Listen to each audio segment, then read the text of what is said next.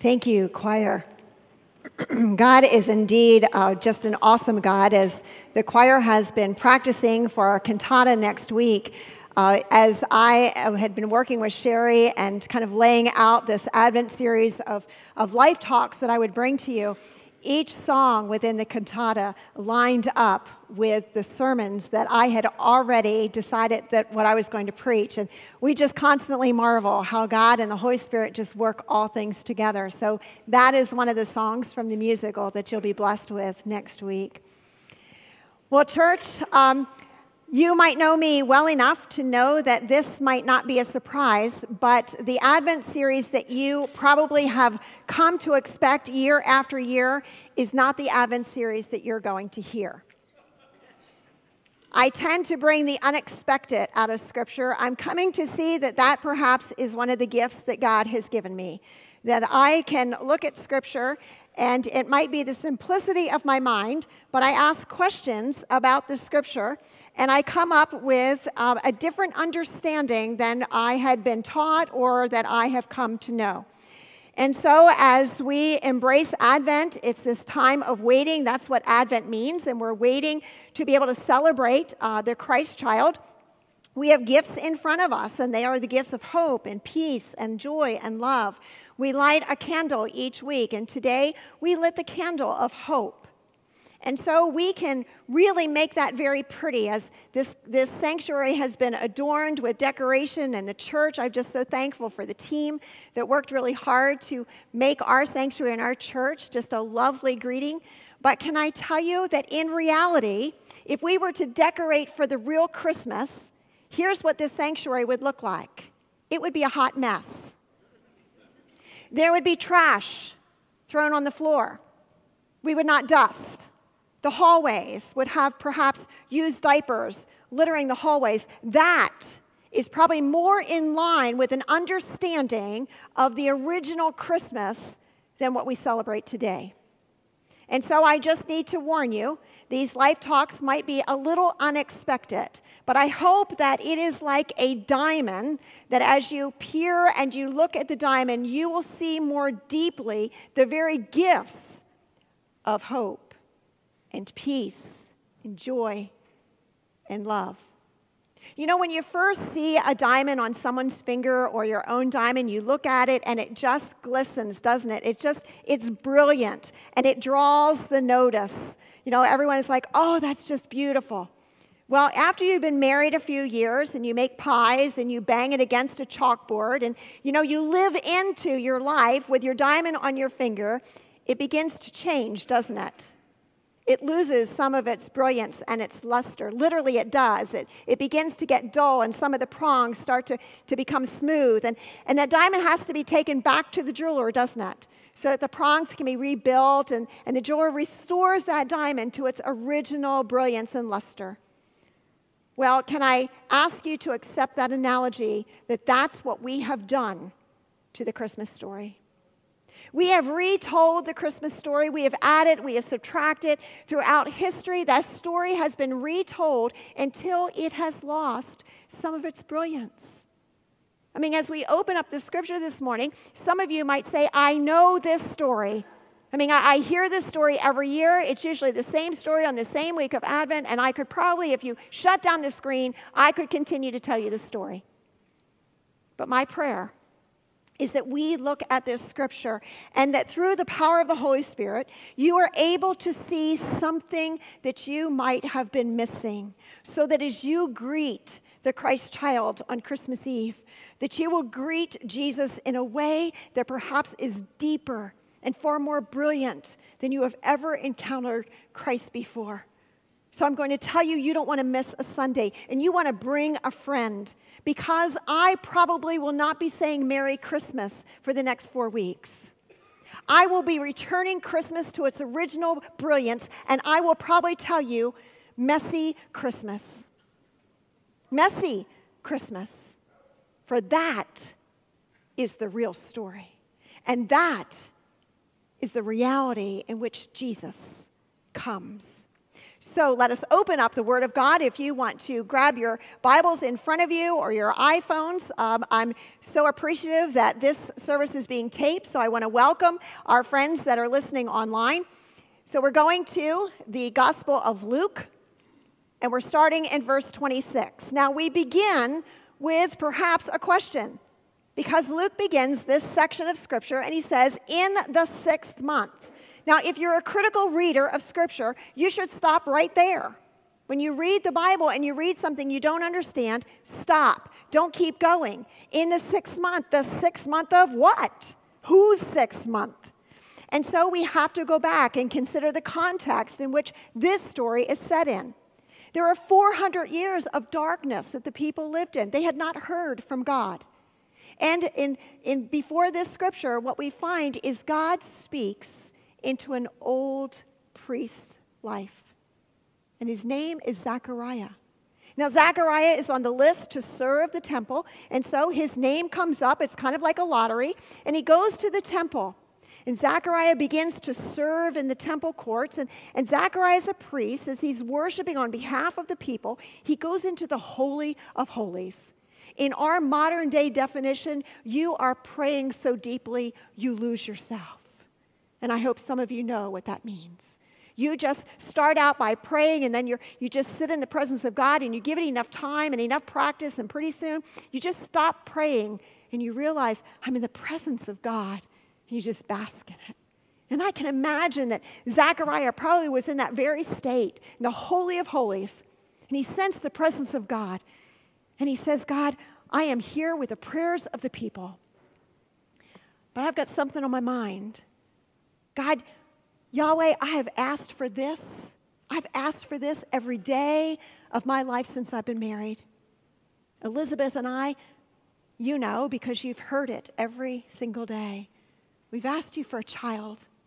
Now, I can imagine that Zachariah probably brings that prayer every single day. Have you brought a prayer every day to God? Is there something that's just on your heart and you just think, I'm just going to pray for it? And every day you, you, just, you just bring that. And, and, and if you're being real, there's going to be times when you bring it and it's like, well, God, here I am again. Haven't gotten it yet. So I'm just going to say it because my hope and my faith and my belief, it's pretty dim today, but I'll present it to you.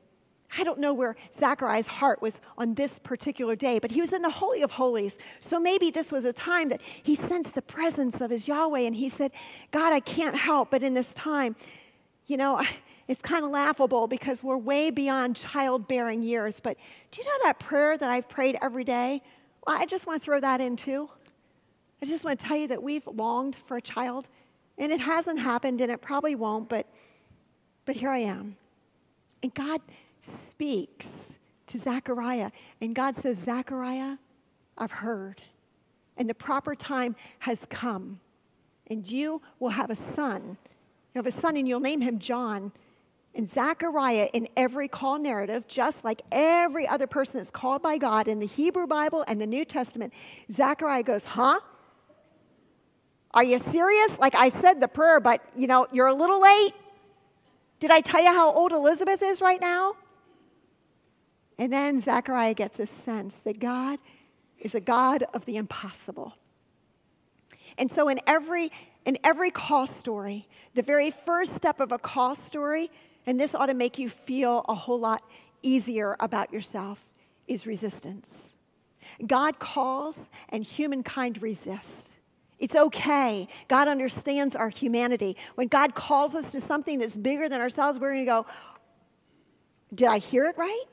Oh, that must just be me. Is it possible? Lord, you have the right person. There's resistance. And then God calls again. And God filled in the blanks for Zechariah. And God said, Zechariah, I'm going to give you a gift. This is a gift. Now, you might read your account in Luke and you might say, no, no, no, that was punishment. But I dare you to go back to the original meaning and understand that when Zechariah could not speak, it was a gift. Now, I'm not talking about the gift that I gave my husband when I came out of surgery and they nicked my vocal cord and I couldn't speak for four months. That might have been a gift. but God literally gave Zechariah this gift of silence. It's a gift of silence. And God said, Zechariah, I love you so much that you're not going to speak until this baby is born. Because I'm giving you the gift of time and silence and being able to mull it over and to see my power and my might work within your life. It's a gift, Zechariah. Friends, God might be giving you a gift and you see it as a punishment. I would ask that you just submit that to God and say, God, in whatever it is, whatever burden, whatever mess I find myself, could you allow me to understand the giftedness in this? And so Zechariah doesn't speak, and Elizabeth sequesters herself for five months. Now let's get real with the scripture. Why would she do that? Can you imagine the talk? Can you imagine as she's going through town and she's buying her bread and her provisions that people look at her and say, Elizabeth, you're gaining some weight. Surely it can't be anything else but you're putting on weight, girl. And Elizabeth does almost the same thing as Zachariah. Zachariah has silence within, and Elizabeth creates a silence around her for five months. She just stays, and they stay private and quiet and perhaps prayerful with all the doubts and all the wonderments. And then Elizabeth feels this nudge in her tummy. And now, now we're ready for the reality of our scripture. Now we understand after five months, after five months of perhaps darkness and doubt and, and wondering and prayer and hope and feeling life, this sixth month, you can't hide that you're pregnant. You start to pop. And it's in the sixth month that now God orchestrates something else to go on in God's good creation apart from Zachariah and Elizabeth. Perhaps nobody knew what was going on except something happened in the Holy of Holies, and the priest Zachariah cannot speak.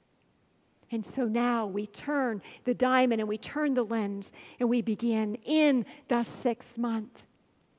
The angel Gabriel, top dog angel, the messenger, which is what Gabriel means, the messenger of God Himself, was sent by God to a town in Galilee called Nazareth to a virgin engaged to a man whose name was Joseph of the house of David.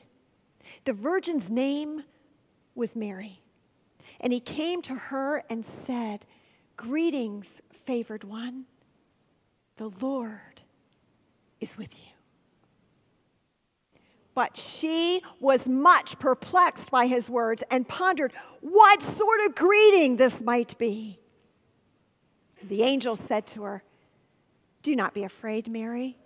You have found favor with God.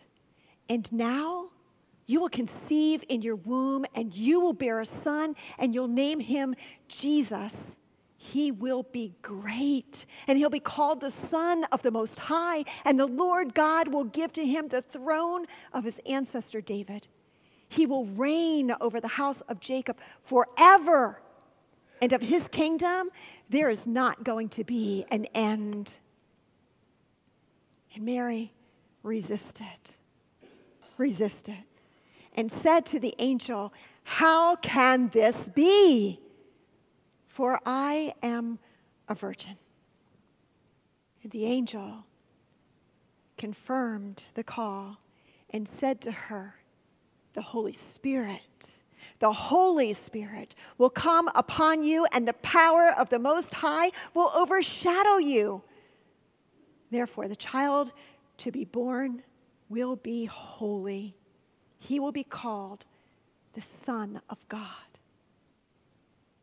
And by the way, now your relative Elizabeth, in her old age, also has conceived a son. And this is the sixth month for her who was said to be barren. For nothing, nothing will be impossible with God. Then, which means after some time, not right away, Then Mary said, Here am I. I'm the servant of the Lord. Let it be with me according to your word. Then, then the angel departed from her. This, this is the word of God in its original brilliance for you, the people of God, to receive. Thanks be to God.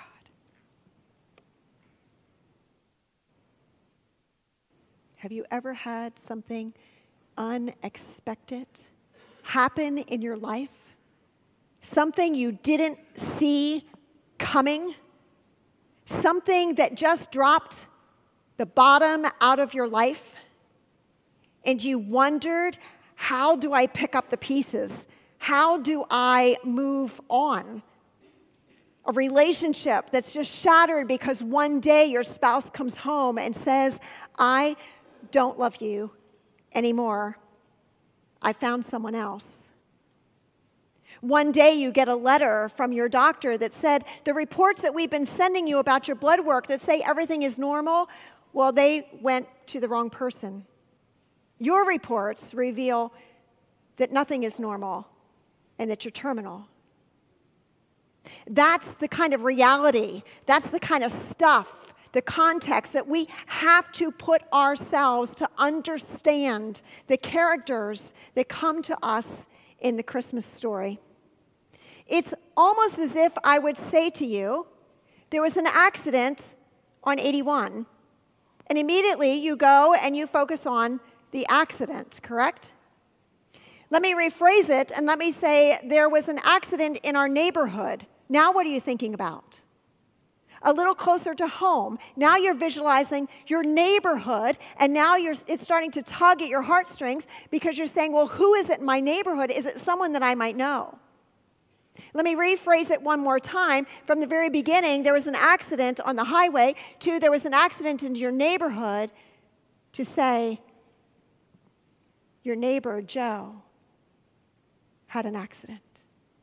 Now, now your heart is literally involved, isn't it? Because Joe is one of your dear and closest friends and your neighbor that you've lived beside for a matter of years. Now, all of a sudden, you're drawn into the emotional drama of this story. It's not just any accident, it's my friend. And now my heart is reaching out. And that's where we need to be to embrace the Christmas story. And so many times we look at Mary, our first character. And we see Mary differently. We see her that she has encountered an angel and, and she's able to somehow sustain this. She's perplexed, but then she says, Well, then let it be as you say, because I'm the handmaiden of, this, of the Lord. And, and she sings this beautiful song that we call the Magnificat. And we say, It must be something about Mary. We, we somehow have to elevate her, that she was more special than we are. But in actuality, you and I are the Marys and the Josephs. Jesus comes to us in the mess that our lives are in. He comes to us in the clutter, in the hallways and the byways of our life. This is where Jesus comes, and we can't, we can't pretty that up. What Jesus is saying to Mary is, Mary, here I am. And so when the angel comes to Mary, we, we kind of wonder, like, isn't this a little upside down? Like, who is Mary? Well, let me tell you, Mary is no one, but Mary is someone. And you and I, we probably feel like we're no ones. We're nothing special.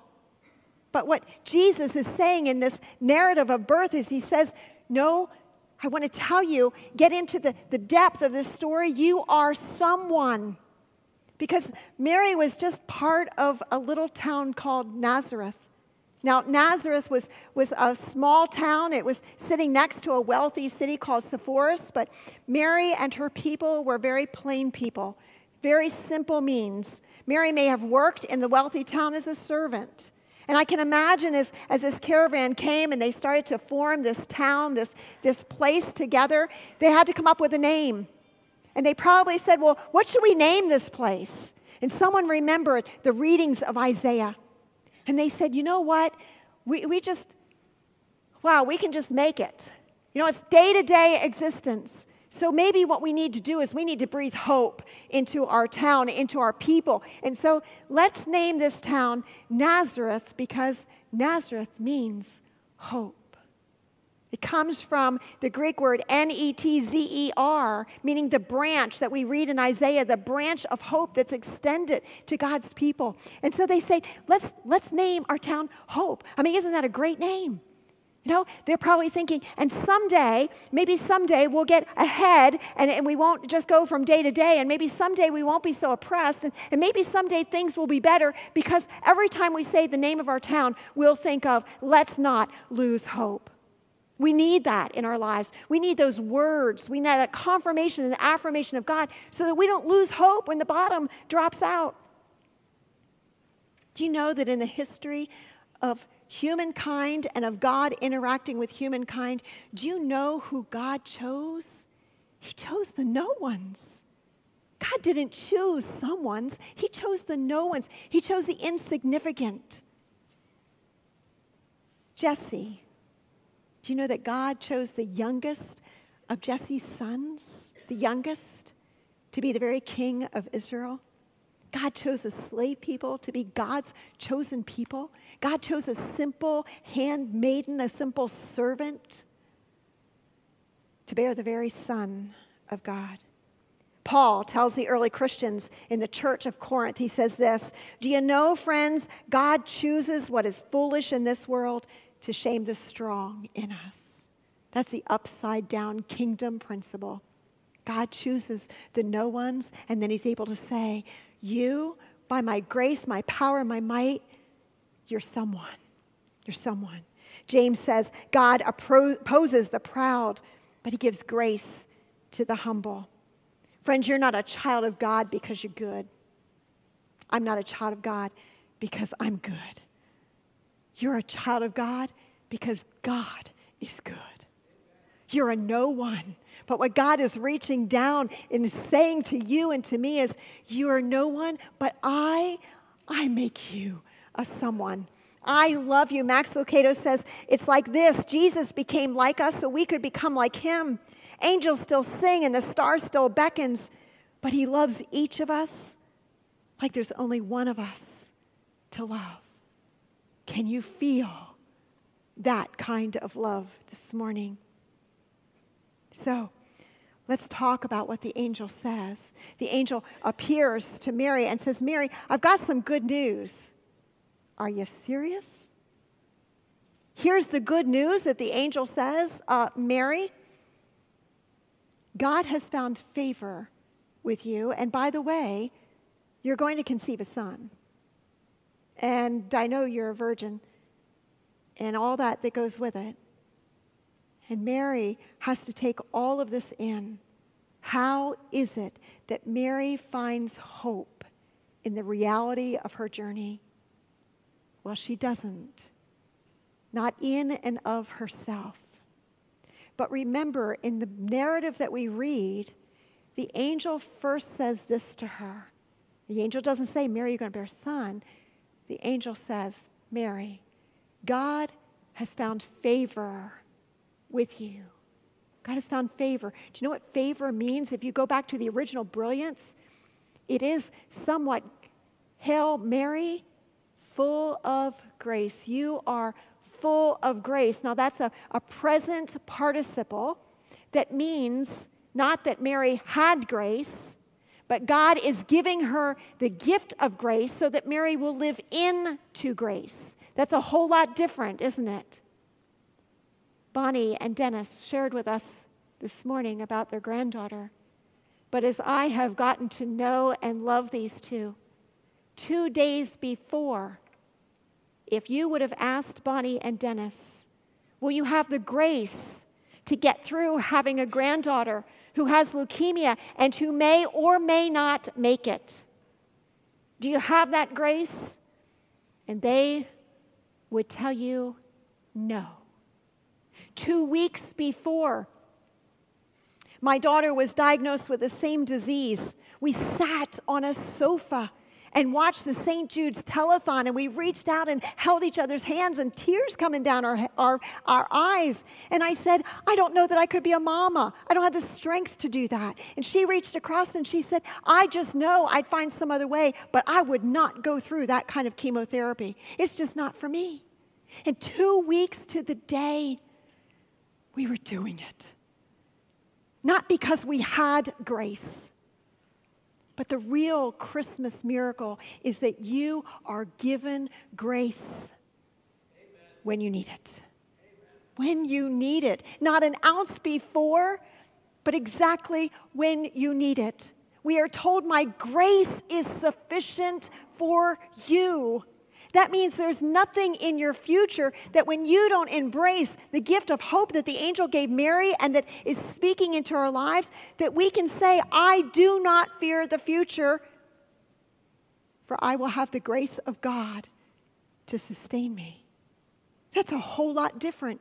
It doesn't make Mary all pretty, it makes Mary struggle and doubt and wonder and worry. This is a girl, friends, who has a lot to lose.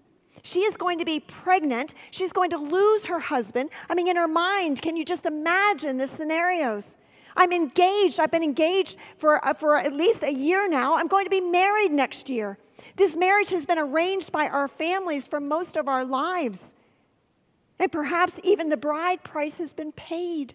I mean, it's a done deal, all but the final contract on my wedding day. And this means all of that is gone, dashed, and then what's worse is I'm left on my own with, an, with I'm unwed and I'm going to have a baby. And, and what, does, what does the law allow? Well, the law allows me to be stoned. And not just stoned in the far corner of the city, but I'm going to be marched right up to my parents' doorstep. So it's not just that I'm going to be stoned, but my whole family, my extended family, they're going to be shamed because the law declares that I need to be stoned in front of my father's door. So now all that's happening to me is going to filter out, and everyone else is going to be affected as well. And I lose Joseph. I lose the security of a life. I lose my home. See, that's the reality. And that is impossible for any of us to get through on our own. That's messy Christmas. And into that mess, into that mess comes grace the angel says, Mary, you are being filled with grace. So I was finishing this sermon yesterday and just changing things around and praying over it as I typically do. And God always speaks. God always speaks reality into my life. And yesterday I received a phone call from my dear, dear friend who, when I moved here, she moved to Kentucky. And she said, Jan, I have to tell you something. She said, We were at a craft show, and it's raining terribly here. And she said, unbeknownst to us, lightning struck, and it struck our home. And we were 40 minutes away when we got the phone call. Our house is gone, Jan. It's gone. My dog was inside, and they're trying to find where he is right now. Dan, I have nothing left. The furniture is ruined. What wasn't ruined by the fire is ruined by smoke. I don't have pictures. My children were supposed to come home for Christmas, and I don't have a place for them to come to. That's a mess. That's a mess. I got off the phone and I grabbed Kevin and we sat down and we prayed. And, and when I'm done praying, I'm looking around and I'm seeing all these little ornaments, all these precious things that are, it's just junk, it's just stuff, but they're memories. And I'm realizing she doesn't have that. She'll no longer have this. She'll no longer have this. How do you get through that? You've been through that with one of your own. And I'll tell you, I'll tell you how it's done. It's done not because you're strong, It's done not because you have resources. It's done not because you just pull yourself up and say it's just going to happen. It's not done by your power or your might. It is done by God's grace. By God's grace. It was grace that allowed Mary to ponder and to be perplexed and to live this journey and one day to say, Oh God, please take this away from me. And the next day say, God, just help me through it. Because we are given the gift of hope, and that hope is the very presence of God. It makes Christmas so very different. Because when we pretty it up, it feels like we need to come to Christmas all decked out, all looking orderly and spiritual and all together. I mean, we want to say to Mary, You got this, Mary. I mean, you're full of grace. You got everything you need, so all's good. Well, all that does is separates us from the manger. It just separates us so that we're not convicted. Do you know that Jesus didn't come to make us feel good at Christmas? Jesus came to transform us at Christmas. And if you don't get transformed in this Advent season, then you're missing, you're missing unwrapping the real gift at Christmas.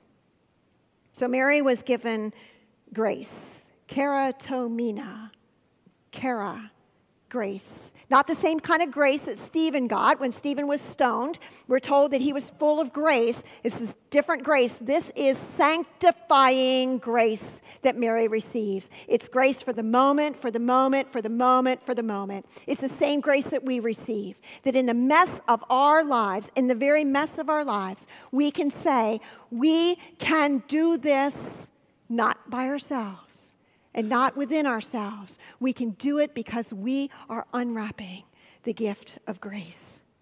Mary's life, it was turned upside down with one pronouncement. That's what life does, doesn't it? Just turns it upside down.